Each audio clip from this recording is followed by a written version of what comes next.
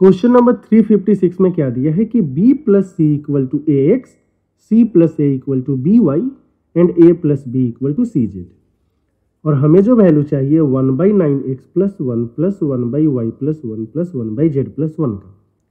अभी आप देख सकते हैं कि यहाँ पे अपने पास थ्री इक्वेशन है सिक्स वेरिएबल है। तो आप थ्री वेरिएबल का वैल्यू कुछ भी पुट कर सकते हो। कुछ भी का मतलब लिटरली कुछ भी। अगर आपने ऐसे पुट किया हमने मान लो ए का वैल्यू एंड बी का वैल्यू एंड सी का वैल्यू सबका वैल्यू इक्वल ले लिया। ऐसा करने से एक्स का वैल्यू आ जाएगा टू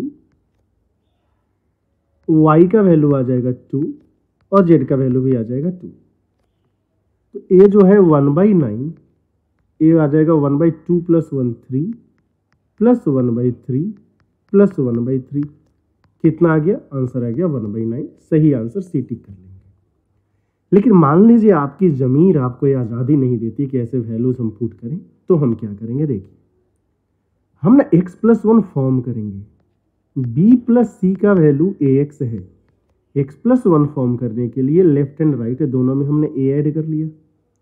तो ये आ जाएगा A plus B plus C equal to X common ले लीजिए। एक्स कॉमन नहीं आएगा।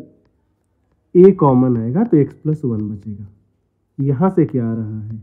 One by one plus x equal to a divided by a plus b plus c. जैसे वन बाई एक्स का वैल्यू आया है, वैसे ही one by one plus y का वैल्यू आ जाएगा b by a plus b plus c. और one by one plus z का वैल्यू होगा c divided by a plus b plus c.